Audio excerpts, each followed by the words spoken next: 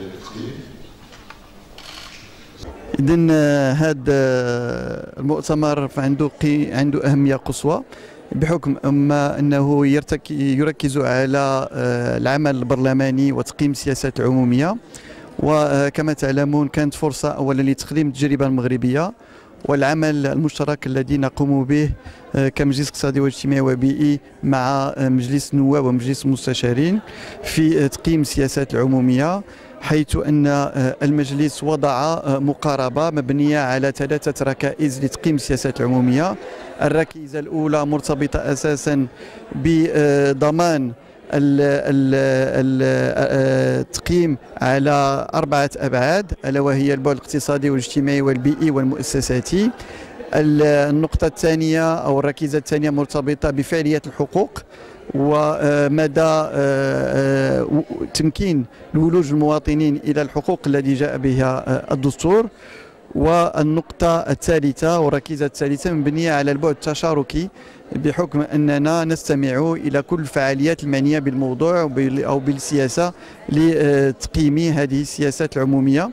واشتغلنا في هذا الإطار على عدة مقاربات ومبادرات التي بطلب من رئيس مجلس النواب أو رئيس مجلس المستشارين أو في إطار الإحالات الذاتية. كنحضر لهذه الندوه لتنظيم الجمعية العربية للتقييم هذه الحقيقة مناسبه طيبة ومهمة باش جميع الفاعلين اللي يشتغلوا في مجال التقييم يجتمعوا يعني نقاش وتبادل الخبرات وتبادل التجارب. الحقيقة سمعت في البانير موبايلات التجارب من تونس ومن من الأردن. المغرب كان شي حاجة مهمة. والمغرب مجلس على الحسابات عنده مهمة ديال تقييم السياسات السياسات العمومية.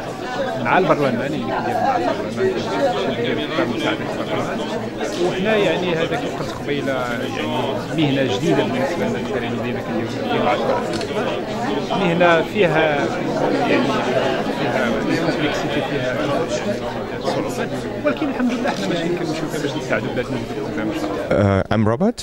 I'm uh, with UNICEF here and I'm very happy to visit Morocco because this is a very important event.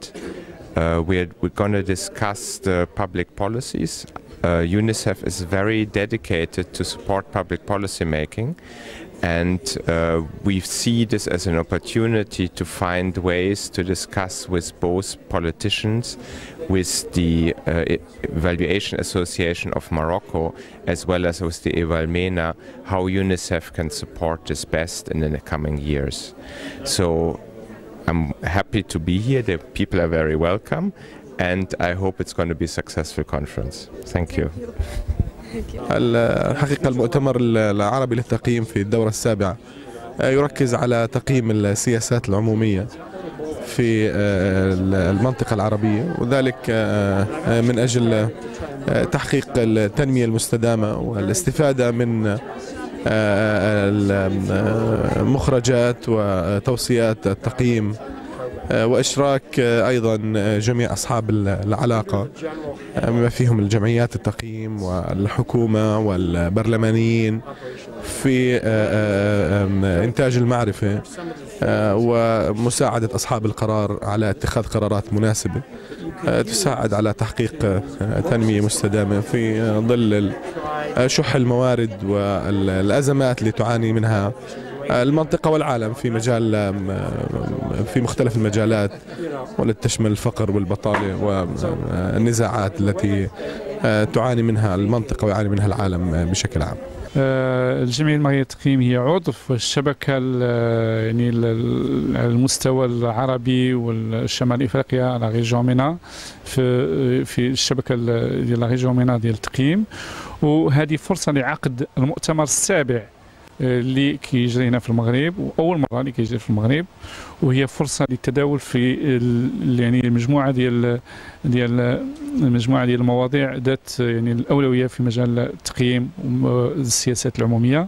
كاين جلسات مهمة يعني حول يعني les systèmes nationaux d'évaluation الانظمه الوطنيه للتقييم حول التقييم على المستوى الجهوي حول يعني التقييم والمتابعة ديال ديال التقارير الوطنية على مستوى يعني المؤشرات التنمية المستدامة وهي فرصة كذلك لدعم وتقوية قدرات الفاعلين يعني الشباب المجتمع المدني حكومات في هذا المجال هذا.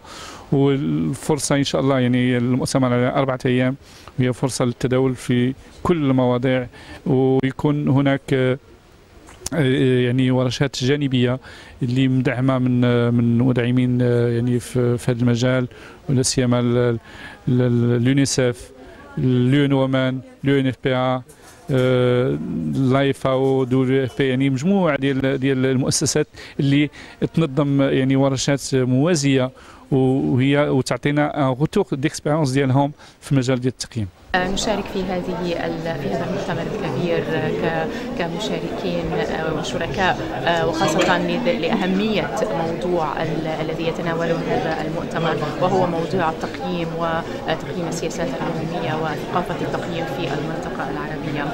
وخاصة تبرز أهمية هذا الموضوع في مجال العمل حول لتشكيل سياسات عمومية تلبي طموحات المواطنين ودور التقييم في صنع القرار والتوصيات الناتجة عن مثل هذه التقييم أو أو التقارير المقدمة لدعم صانعي القرار في أخذ قرارات متلائمة مع أهداف التنمية المستدامة والمتطلبات المواطنين.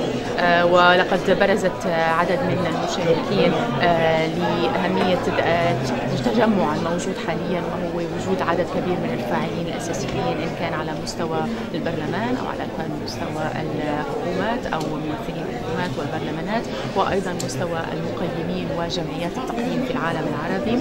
وذلك لتكريس أهمية هذا الموضوع. وأهمية الرؤية المستقبلية لطرق مبتكرة في عملية يعني إقامة هذه المواضيع أو تطبيقها وتنفيذها وأيضا المتابعة نتائجها على أرض الواقع.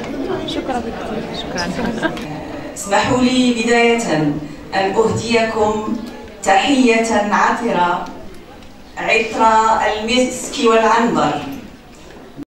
تنسوش تتابعونا على جميع وسائل التواصل الاجتماعي والاشتراك في القناة والضغط على زر الجرس